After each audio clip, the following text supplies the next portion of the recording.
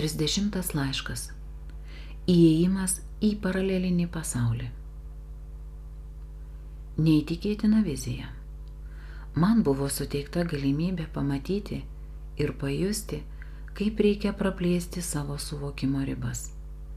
Būna akimirkų, kai stengiasi ką nors suprasti, pajausti, bet nepavyksta. Trukdo suvokimo ribos, tarsi atsitrenki į sieną. Aš nugribzdau į lengvą snaudulį ir išgirdau klausimą. Kokių gyvenimo tikslų turi? Atsakiau, kad nežinau.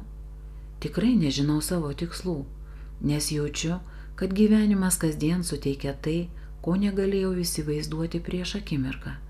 Tad gyvenimo tikslo neturiu. Man pasiūlė priimti naują tikslą - gydyti žmonės. Aš paklausiau, Ar seansai, kuriuos atlieku, nėra gydimas? Išsiaiškinkime, kas yra gydimas, kas yra gydomasis ir ką turėtum išgydyti. Pirmiausia, gydomas žmogus nebūtinai turi sirgti, kaip ir sveikas žmogus nebūtinai yra sveikas. Sunkia lyga sergančio žmogaus siela gali būti daug sveikesnė nei fiziškai sveiko žmogaus. Gydyti žmogų tai padėti pasireikšti žmogaus sielai. Gydyti tai pastebėti, kodėl žmogus atitolo nuo sielos kelio ir padėti sugrįžti į jį. Supratau, gydyti tai išsiaiškinti sielos paskirti ir parodyti žmogaus nuklydimus. Bet kaip tai padaryti? Mano protas to nesuvokia. Tada ir įvyko stebuklas. Atsipalaidavau ir pakilau į kažkokią erdvę. Išgirdau, nebijok, atsipalaiduok, leisk vaizduotėjai suvokti, kur esi.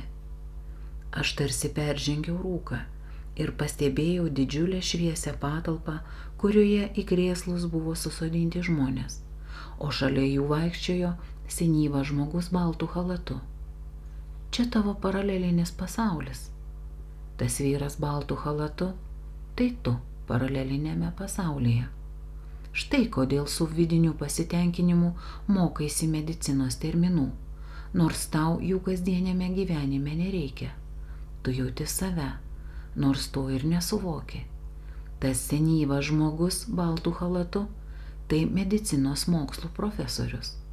Labai gerbiamas, labai daug pasiekęs. Jis yra pritaikęs naujų gydimo metodų.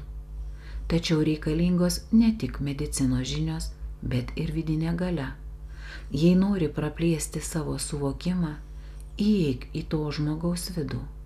Mėgink pajusti tai, ką jis jaučia. Mėgink suprasti tai, ką jis daro. Susitapatink su juo, nes tai esi tu. Vėl stebuklas. Aš save pažįstu ir žinau savo suvokimo ribas Žinau, kada pasireiškia psichologiniai blokai, vidinės baimės. Kai bandau suvokti truputį daugiau nei galiu, taip pat išsigastu. O kai įsiliejau į profesorių, nejaučiau jokios baimės. Man buvo viskas aišku. Aišku, kas ir kodėl vyksta su žmogumi ir jokios panikos. Ramybė ir malonumas. Taigi aš susilieju su profesoriumi ir stebiu, ką jis daro. Ne iš šalies, o profesoriaus akimis ir jo suvokimu. Jis prieina prie patogiai sėdinčio žmogaus, prideda rankas ir pasineria į jo vidų. Jis mato, taip pat ir aš, žmogaus energijų kanalą. Jis apčiuopia kiekvienos energijos, tarsi laido virpesius, girdi tų laidų skambesi. Jaučia, ar laidai stiprus, ar silpni, ar sutrukinėja. Apčiuopdamas kiekvieną laidą, jis pamato pažeidimus, kurie pasireiškia tam tikrais įvykiais žmogaus gyvenime. Jis priima informaciją, bet jos neužrašo ir nesistengia įsiminti. Profesoriaus galvoje yra prietaisas, fiksuojantis visas mintis bei jausmus ir išsaugantis tam tikrose laikmenuose. Po gydimo seanso Profesorius tas laikmenas atiduoda žmogui, kad galėtų jas perskaityti, pamatyti, analizuoti ir keisti situaciją. Stebėdamas laidų skambėsi ir virpėjimą, profesorius suvokia, kad žmogui blogai yra dabar ar buvo blogai viename iš praėjusių gyvenimų. Jis pajaučia visus gyvenimus. Pavyzdžiui, prieėjęs prie moters, jis pajutė, kaip dažnai ji verkė, būdama kūdikis. Iškilo klausimas, kodėl, nes jauti neigiamas tėvų emocijas. Kūdikis nesuprato, kodėl tokia emocija vyrauja aplink, bet pajutęs ją verkė, o verkdamas sukūrė tokią gyvenimo kryptį, kuri netitinka sielos paskirties. Ta akimirka gyvenimas išsimušė iš vėžių. Ką daryti šiai moteriai? Sugrįžti į tą būseną, kai dar buvo negimusi ir paveikti savo tėvų gyvenimą taip, sudarant įvairias situacijas, kad jie vienas kitam nejaustų neigiamų jausmų. Prieš gimdamas kūdikis gali labai paveikti tėvų gyvenimą, ypač prieš pradedant jį. Moteris, kuri yra gydoma, tą akimirką pajėgi pakeisti savo kryptį. Ji pajėgi suformuoti gerą kūdikystės aplinką, kuri suteiks energijos ir jėgų vystytis tinkamai gyvenimo krypčiai. Visą tą informaciją moteris gavo laikmenuose. Gali su jie susipažinti ir įėjusi į meditacinę būseną pakeisti lemtingą savo gyvenimo momentą. Pakeitus momentą keičiasi gyvenimo kryptis. Žmogui gali tekti vėl ateiti pas profesorių, nes nežinia, kada vėl bus nukrypta nuo sielos kelio. Vėliau profesorius priejo prie kitos moters, kuri negalėjo turėti vaikų, bet jis aiškiai pamatė ateitį, kurioje ji turi du vaikus - mergaitę ir berniuką.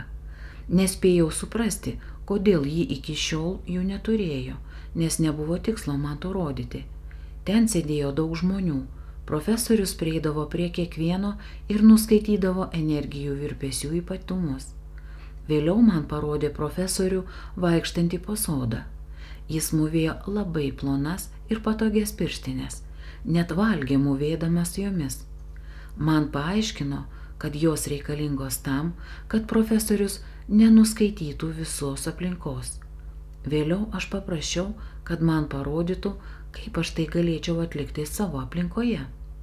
Gaila, kad neturiu tokio prietaiso galvoje, kuris nuskaitytų mano mintis ir pojūčius. Šis prietaisas jau dabar būtų reikalingas.